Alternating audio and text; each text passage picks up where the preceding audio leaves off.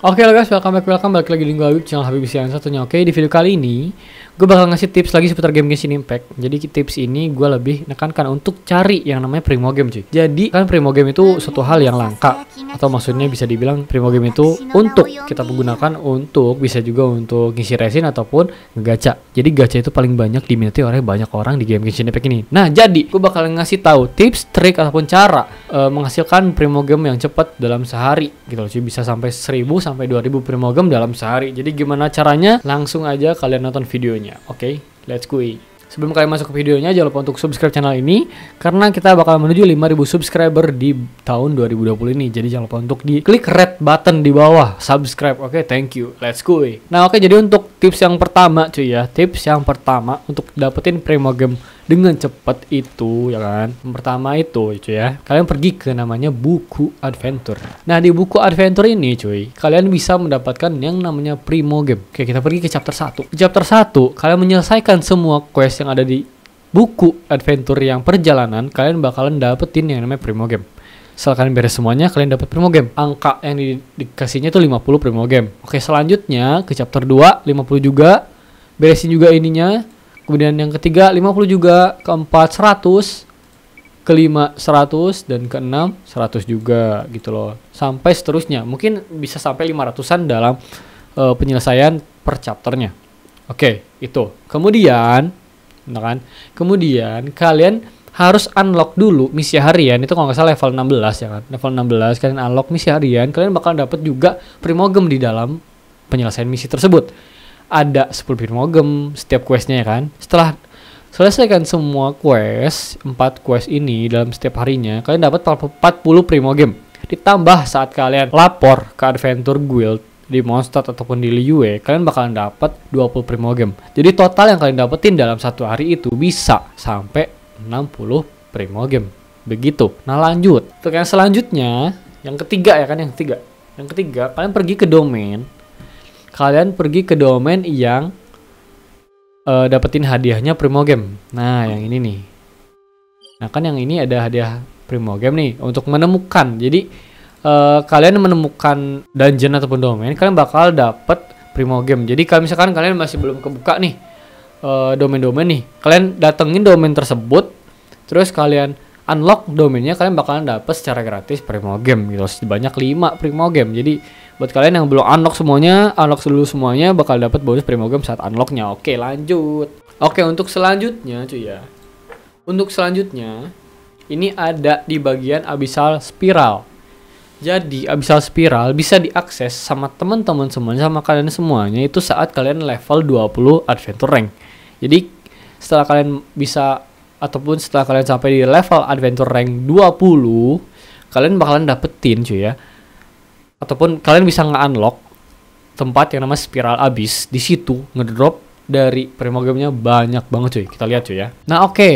jadi ya kan ini kan ada berapa lantai nih? Ada 8 lantai 9 lantai lah ya. 9 lantai oke. Okay. jadi setiap penyelesaian dari setiap lantainya cuy ya itu mendapatkan hadiah gitu mendapatkan hadiah dan hadiahnya apa aja ya kan yang pasti yang pertama gitu loh yang pertama di lantai satu ya kan. Setiap kalian menyelesaikan tiga uh, bintang ya kan. Kan di setiap ruangan tuh ada setiap lantai itu ada tiga ruangan. Nah, setiap ruangan tuh harus tiga lan eh, tiga bintang biar kalian bisa dapetin reward yang full ataupun maksimal ya kan. Misalkan kalian dapat bintang tiga di ruangan satu, kalian dapat 100 primo game. Lantai dua, eh, uh, ruangan dua dapat 100 primo game juga. Ruangan 3 dapat 100 promo game juga. Dan itu kalian bisa dapetin semuanya saat kalian bisa uh, ataupun maksimal memberikan bintang di setiap ruangannya. Misalkan kalian dapetin 9 bintang di uh, satu lantai gitu kan kalian bakal dapat semua rewardnya. Plus dapat mora juga 15.000 20.000 25.000 dan kalian tambahin aja semuanya berapa gitu loh. Nah jadi di satu ruangan kalian bisa dapetin 300 primo game oke? okay? 300 primo game lanjut ke lantai uh, 2 Kalian juga kalau nyelesain semuanya, kalian dapat 300 primo game. Selanjutnya, oke dapat, ah kan gue dapat juga primo game kan 100 kan. Nah kalau lantai 3 kalian juga dapat 100 primo game dan seterusnya cuy. Seterusnya ya kan. Jadi kalau dikalkulasikan ya kan 1 2 3 ya kan. eh, tiga ratus tiga ratus ya kan jadi dikaliin aja gitu loh satu lantai 300 kaliin berapa lantai nih? 1 2 3 4 9 300 kali 9 berapa? Coba. 3 kali 9 uh, 27 jadi 2700 dalam sa semua spiral abis ini. Jadi kalian bisa dapetin 2900 untuk menyelesaikan spiral abis ini. Tapi gua nggak tahu juga ya ini untuk ada kayak ini kan bintang kayak satu satu satu satu dan ini yang dua nih. Ini mungkin bakal dapet uh, lebih banyak uh, primogemnya dari yang satu-satu ini gitu loh jadi buat kalian mungkin ini bisa dibilang total dalam satu ini semuanya ya kan satu abyssal spiral itu bakalan kira-kira lima ribuan primogem jadi buat kalian semuanya untuk menyelesaikan spiral abis ini kalian semuanya harus punya damage ataupun party yang wah gitu loh. Kenapa seperti itu cuy? Karena ya kan, karena untuk menyelesaikan spiral abis ini itu sangat susah cuy. Terkhusus pada saat naik ke lantai 3. Lantai 3 itu setiap ruangannya itu wah edan sih. Maksudnya kayak musuhnya nggak terlalu berat banget, cuman musuhnya itu mencar cuy. Jadi kan ini dalam juga di waktu. Jadi kalian harus segera untuk menyelesaikan ini ya dengan cepat. Pokoknya gimana pun kalian harus bisa menyelesaikan dengan cepat dengan waktu yang tepat gitu loh. Dan juga selain kalian dapetin primo game, kalian juga bisa dapetin uh, reward-reward lainnya di setiap ruangan. Kan satu lantai ada tiga ruangan. Nah, setiap ruangan bakal dapat duit juga kayak lima lima ribu mora gitu kan. Berapa mora dan juga dapat chest. Di chestnya itu bisa dapat artefak gitu loh cuy. Jadi ya worth it sih ini untuk dimainin sampai full gitu loh. Jadi kalau misalkan kalian menyelesaikan semuanya, kalian bakalan dapet primojem yang banyak. Oke, kita lanjut ke tips selanjutnya. Tadi udah berapa tuh? udah berapa tuh? Oh, satu, dua, tiga, empat ya kan? Kelima cuy ya, kelima. Kelima, kalian harus menyelesaikan yang namanya achievement cuy. Nah, di achievement ini, kalian juga bakalan dapat primojem. Pokoknya kalian uh, harus menyelesaikan ini semua ya kan? Karena kalau ditotalkan ataupun dikalkulasikan ya kan? Ini banyak banget cuy. Uh, taruh dalam dalam satu ini nih ada 100 atau 200-an ya. 200 lah taruh 200-an ya kan? Dan kita kalikan semuanya pokoknya ya sekitaran paling sedikit 50 lah taruh 50 50, 50, 50, 50 ini kali ada berapa nih? 1, 2, 3, 4, 5, 6, 7, 8, 9, 10, 11, 12, 13, 14 Nah, 14 kali 5 berapa cuy? Hitung aja gitu loh. Nah, jadi kalau misalkan kalian menyelesaikan semuanya cuy Ini bisa berkemungkinan. Misalkan kita taruh satu uh, penyelesaian achievement yang di sini Misalkan itu 50 ya kan? Kalian kali sebanyak semuanya dapat belas itu bakalan dapat 700 Primo Game gitu. Bakal dapat sekitar 700 Primo Game. Jadi kalian bisa dapetin 700 Primo Game secara gratis di game ini tanpa harus top up top up segala macam untuk gacha tuh ya. Jadi kalian selesaiin aja semuanya kalian bakal tujuh bakalan dapat 700 Primo Game. Oke. Okay. Selanjutnya, apalagi nih Bang? Udah semuanya nih yang tadi lu sebutin ya kan. Terus apalagi? Nah, selanjutnya cuy ya. Nah, selanjutnya itu ada di bagian statue. Statue itu uh, kalau kalian upgrade levelnya kan gue udah level 8 misalkan gue upgrade ke level 9 itu bakalan dapet primojem sebanyak 10 cuy. Jadi gitu loh. Kalau kalian ngupgrade statue dari misalkan level 1, 2, 3, 4, 5 sampai 10 gitu kan maksimalnya 10 nggak salah uh, kali aja 10 kali 10 berarti ya 100 jadi kalian dapat 100 primogem dalam uh, penyelesaian dari statue-nya jadi itu juga cukup cepat untuk nambahin primojem kalian. Nah kemudian cuy kemudian selanjutnya udah udah keberapa nih? Nggak ngitung gua. Selanjutnya itu pas kalian mengalahkan musuh yang ada petinya ataupun ada chestnya ya kan? Yang ada chestnya itu kalian bakalan dapetin yang namanya primo gem juga. Oke okay, bakal dapetin yang namanya primo gem. Dan saat kalian menyelesaikan uh, misalkan kalian temukan chest ataupun peti kalian bakalan dapat primo gem di dalamnya. Paling sedikit itu kalau nggak salah primo gemnya dua dan paling banyak untuk ngebuka luxury chest luxury chest nanti gue bakal liatin cuplikannya karena gue udah nge juga cuman nggak nggak sambil ngom ngomong gitu loh.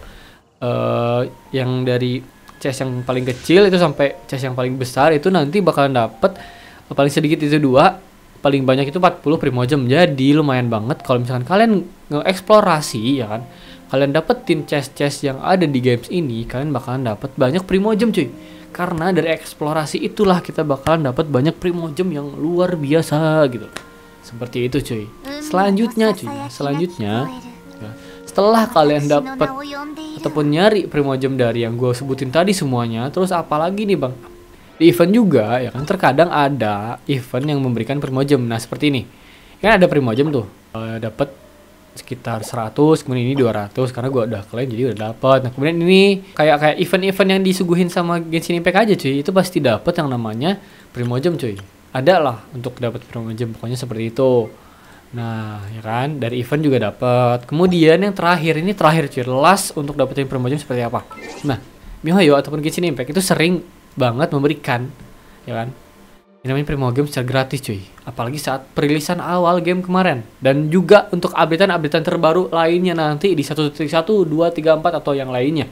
Itu bakalan ada kompensasi ataupun pemberian Primo Game secara gratis seperti ini 1600 oke okay?